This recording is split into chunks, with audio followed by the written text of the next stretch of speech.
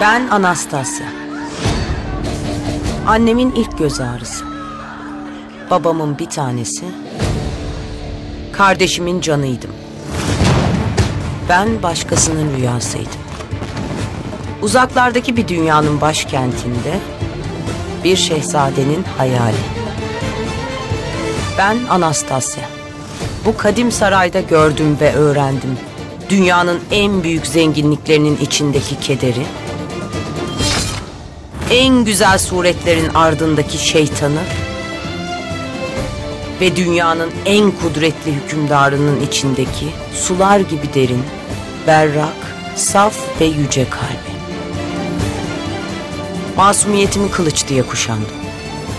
Dikenlerin, korların üstünden yürüyorum. Geliyorum.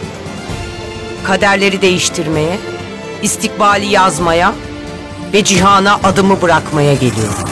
Kösem! Kösem! 30 yıldır bu saraydayım ben. Son 10 yıldır bizzat idare ediyorum devleti. Ben olmasam ne hanedan kalırdı ne devlet kalırdı. Şimdi geçmişsin karşıma bana devletin istikbalinden bahsediyorsun. Senin o devlet dediğin benim, ben. O devir kapandı validem. Naibeliğiniz bitti. Ben buradayım. Saltanat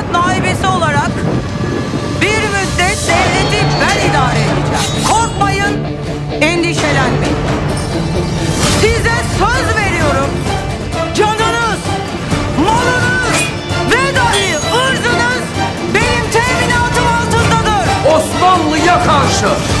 Şimdiye kadar kimseden korkmadım, korkmam.